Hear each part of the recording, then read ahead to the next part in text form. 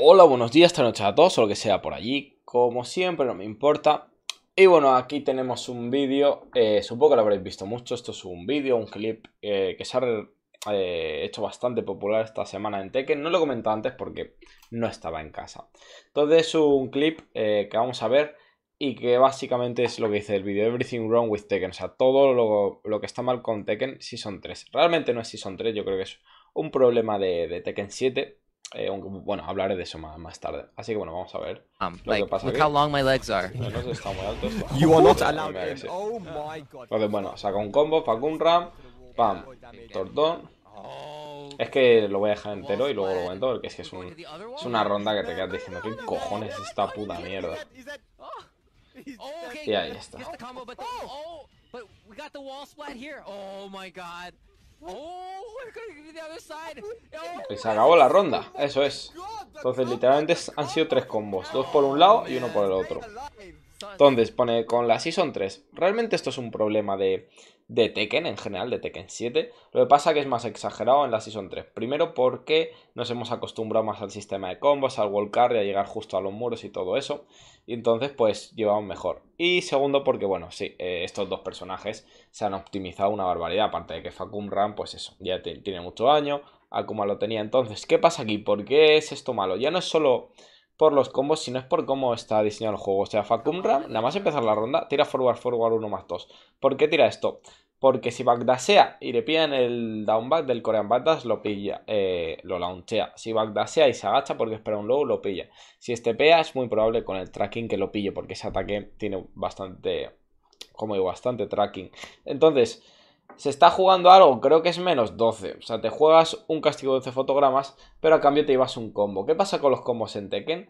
Que no te hacen elegir entre wall carry o daño. Hay una opción que siempre es la de wall carry y daño, o la de ajustación y daños. Suelen ser bastante... Pues eso, que no tienes que elegir. O sea, hay una opción bastante buena. Entonces haces un combo que tú una barbaridad de daño, llegas al muro con todo el daño y haces el combo de muro, que quita bastante, sobre todo si das el último golpe sin escalar. Y cuando llegas al muro, después de arriesgarte de, en e, ese pequeño riesgo, consigues todo este año. Y en el muro tienes Okizeme. Este es el gran problema de Tekken 7, que muchas veces yo digo, te hacen un perfect y dices, bueno, esa ronda tampoco podría haber hecho mucho más. O sea, sí podría haber hecho más, pero es que simplemente te has comido dos mix-up y has perdido, o tres.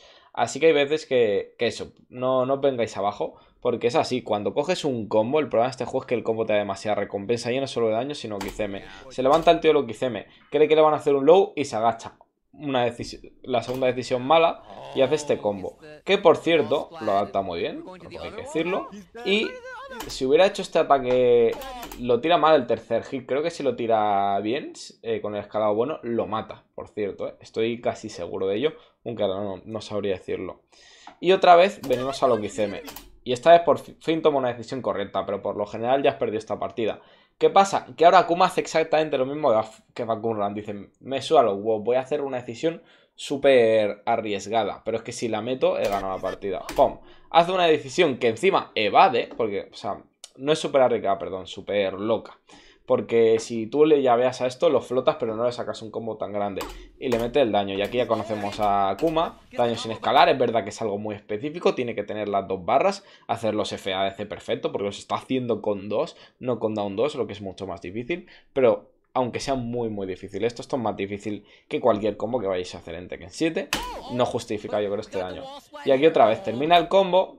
Aquí realmente no termina. Pero el tío no se levanta por miedo a lo que hice, me lo que ha pasado antes, ¿no? Que te levantas de golpe y te hacen un low o un mid y, te comes la que se ha la coma en el muro. Entonces este tío no se levanta, lo recoge el suelo y se acabó la ronda. Básicamente eso es lo que pasa aquí. Y es un problema por eso. El problema es que a veces tiras un launch y dices, pues lo voy a tirar porque para el castigo que me pueden hacer y la recompensa que puedo sacar. Entonces, ¿cuál es la solución? Obviamente, hay que nerfear en general los, launchers, el wall carry y sobre todo el Okizeme. El problema de Tekken es que no, te hace elegir. Por ejemplo, juegos como Grand Blue Fantasy, no sé si, si juega alguien aquí.